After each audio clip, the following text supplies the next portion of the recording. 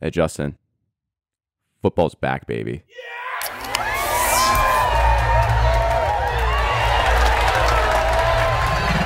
All right, let's talk about a guy that doesn't get talked about enough. Chandler Jones had an absolutely monster day today. Monster. Monster. So Chandler Jones had five sacks, and uh, he hit 102 sacks total for his career. Taylor Lewan was all laying all day. Oh, laying all day. all day. Matador. Full, full on Matador mode Full today. on Matador. AJ Brown was held to 49 yards, and Julio was held to 29. Uh, well, okay. In Taylor uh, Lewan's defense, we're going to talk about we're going to talk about Julio and AJ Brown because those people absolutely need to be talked about. He's coming off an ACL injury. However, with that said, this doesn't look good for the Titans. No, and their defense was an absolute sieve all day. You know, and their offensive line wasn't able to protect Ryan Tannehill at all. No. Chandler Jones not only had five sacks, he had two forced fumbles. Oh, actually, I didn't. I didn't see those. Yeah, and so even Taylor Lewan after the game was like, "I played like shit," and we're like, "Yes, you did." Shout, shout out to him. You know, he was being accountable. I do have respect for that. But Yeah. the fact of the matter is, he did play like shit. So let's talk about the acquisition that they made that every Titans fan in the world was freaking out about this year. Julio Jones had 29 yards on three catches. Um, that's what scientists like to say is not very good. Not good. But I'll say on the other side,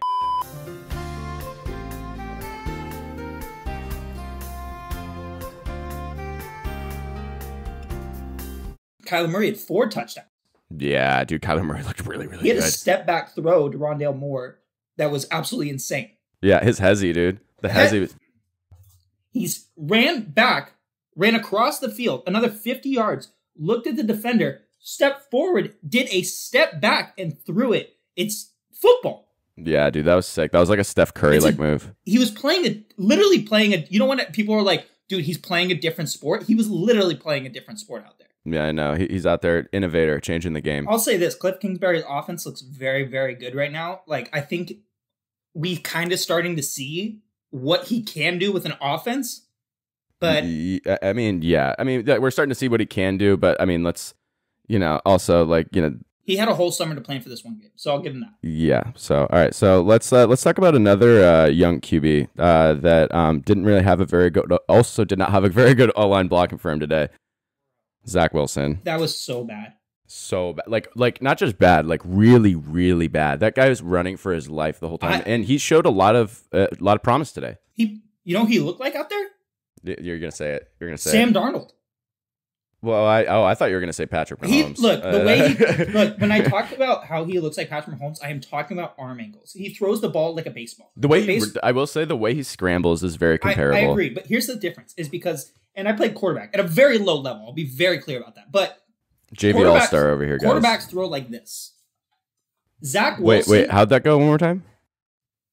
Zach Wilson and Patrick Mahomes technique. throw like this, like a baseball. They throw like a baseball, and that's why they have such weird arm angles and can launch the ball like at different speeds and different velocities and different angles because they throw differently.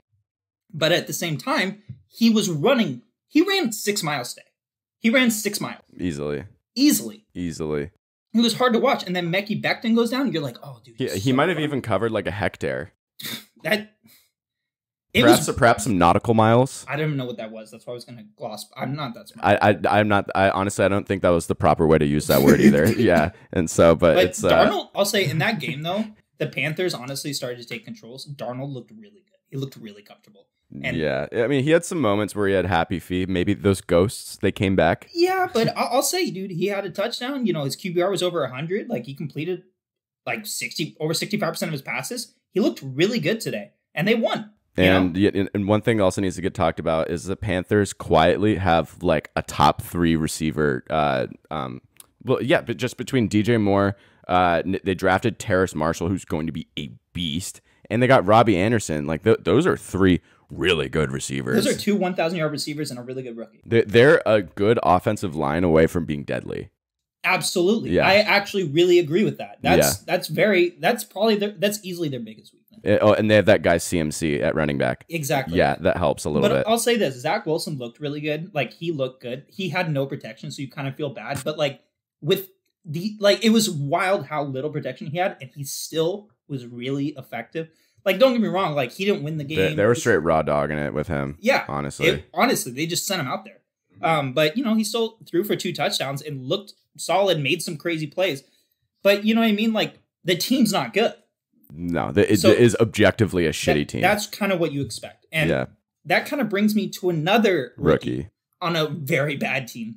Yeah, That won today though yeah, against another very bad team. dude. I, I think yeah. Okay, he had his welcome to the NFL moment today, but also getting drafted by the Jaguars. He wasn't oh, I was exactly. Ja'Marr Chase. oh shit! I was talking well because No, we're talking you're about right. You're rookie. right. Because you, are talking about rookie QBs. Yeah, you're right. Yeah, okay. about Trevor Lawrence. Yeah, and so well because he wasn't exactly when he was getting drafted by the Jaguars. He wasn't exactly getting the keys to a Rolls Royce. Not at all. He's getting like a '90s sh- Impala. Oh, oh, yeah. and and on top of it, Etienne just With went down. 180,000 miles. Yeah, and the uh and Urban Meyer, that whole situation's not exactly going very well. Sounds like an absolute nightmare. yeah, it sounds really really bad. That's that's a topic for a whole different video. But let's talk Trevor Lawrence. Trevor had three touchdowns, but he also had three picks. Yeah, And- and, and sorry, and please, please excuse Justin's voice cracks uh, right now. Uh, he was just choking second I was ago. literally choking right yeah, he, he almost he almost died, but he's a, but he's a trooper. He's he's he's dedicated to the pod. But acid reflux. yeah, but dude, Trevor. Lawrence, bro. Okay, okay, yes, he threw three interceptions. Two of them were egregiously bad, but he also threw for 330 yards in his very first game in the NFL and three touchdowns. Yeah, uh, and and honestly, he also targeted DJ Chark like twelve times, and he only caught like three balls. So that's not all all on Trevor. Like that's not all all on Trevor. So That like is, yeah, he played well. Like he threw three picks, and two of them were brutal. you, you can't really ask him to do that much more with the cards that he's been dealt. But the thing is, the Texans look competent. Yeah, They looked really competent. Yeah. Tyrod played amazing. He had two touchdowns, like 280 yards.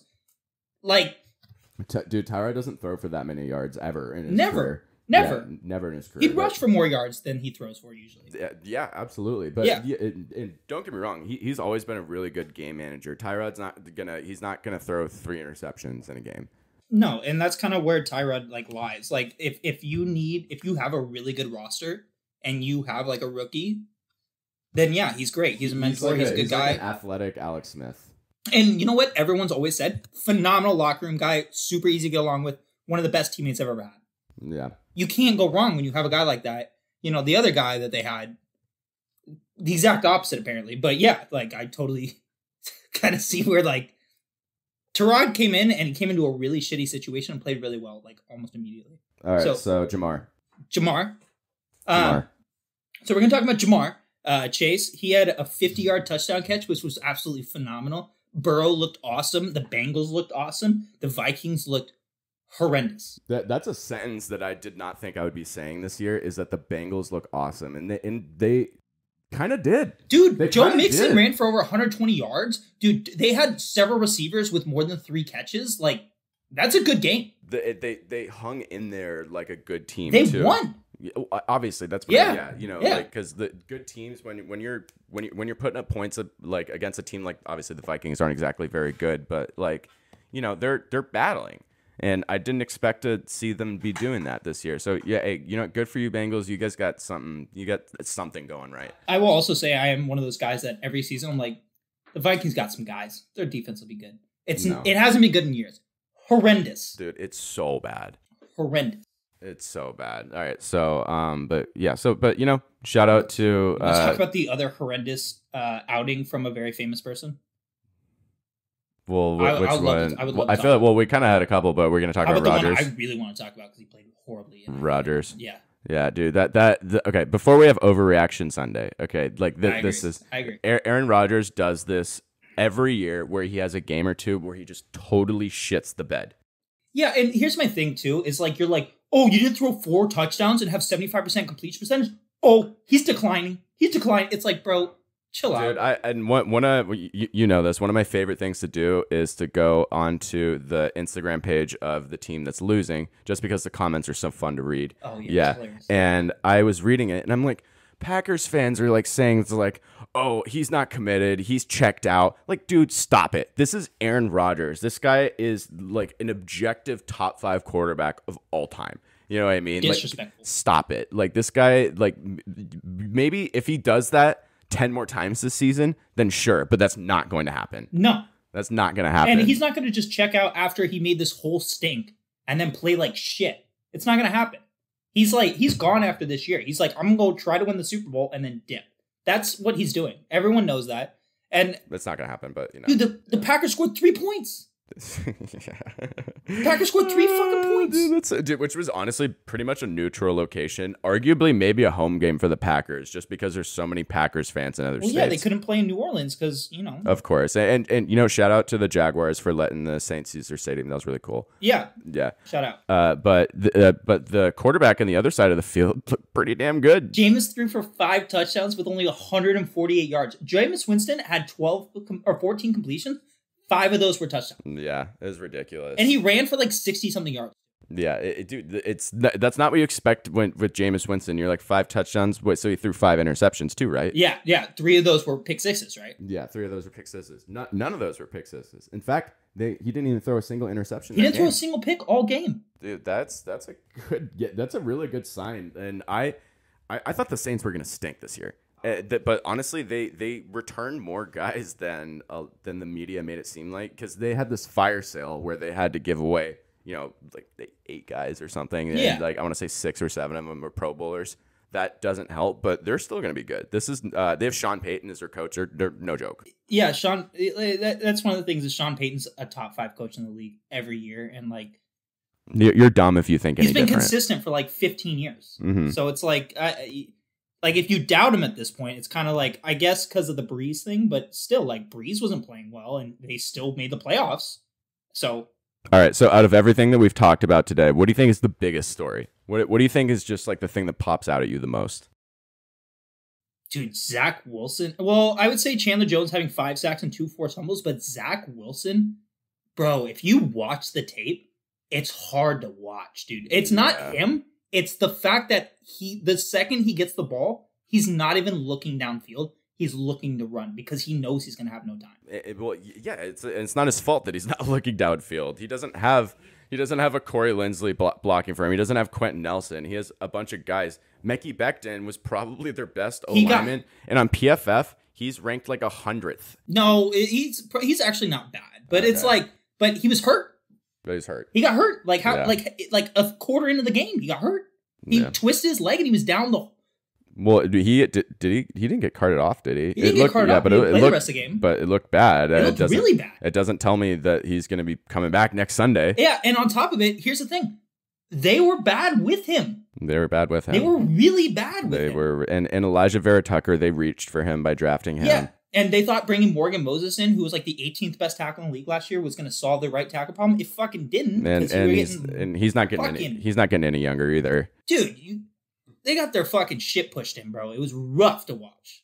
In my opinion, I uh, just as someone that used to play uh, d- defense and offensive line. Fun fact: uh, I used to weigh 80 more pounds than I do right now. Uh, so when I say that I played DNO line, that's what I mean. But dude, five sacks in a game and two forced fumbles. I don't care who you're going against. The, these are NFL tackles. That's fucking ridiculous. And it was against a three-time Pro Bowl. and against a three time like and here's the thing yeah sure he's coming off an acl injury but acl injuries are not what they were 30 years ago an acl injury you're back in nine months you're really Yeah, you are yeah. Like and, and so like i don't really want to hear like the oh he was hurt like or like he was set back so much by his acl injury that it solicited reasoning for him to give up five sacks Yeah, dude he even knew that. five sacks He tweeted it. You saw the tweet, right? yeah, dude. Most I'd say probably the average team gives up maybe forty to fifty sacks a season. You know? oh uh, I mean, if you're really good, like 35. Yeah. So I'm I'm fifty. Yeah, 50 to fair. 60. And so he gave up 10%, 10%. of of a season sack single-handedly. There's 16 more games. Single-handedly by one guy. There's 16 more games. Uh he's got to he's got to get that shit figured out. Uh and also Titans fans um I, I would say this is like an 8 out of 10 worry right now. Frauds. Yeah, frauds. Frauds. Um but, you know, Sorry, Uncle Hey. Brad. Hey, but Justin, you know what's most important here? Football's back. Football's back. Football's back. Fans are back. We fucking beat COVID. Let's do it, baby. 16 more games.